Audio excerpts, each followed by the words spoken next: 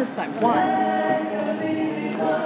One of the things about social services is that your mission is only accomplished when there are no longer people who need to be served.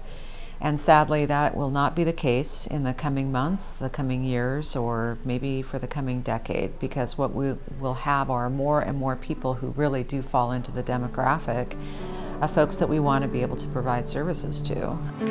Most of the people who come here are not connected to other people, and so the first thing that they need is some place where they can be with other people. Table nine. They need to be able to eat, and uh, we provide a hot, nutritious meal to them every day. It's just a different senior center. I mean, it's just, I don't know if there's another senior center like it, from homeless to people that are housed up on Queen Anne, coming together. I mean, it's just, I don't know, it's just unique. A lot of times we work with folks to find housing, uh, to get their social service needs met. You understand me, and I think I understand you. Whatever their stated need is, we, we try to find a, a means of connecting them to a solution for it. In its early years, the Senior Center served 9,000 lunches a year.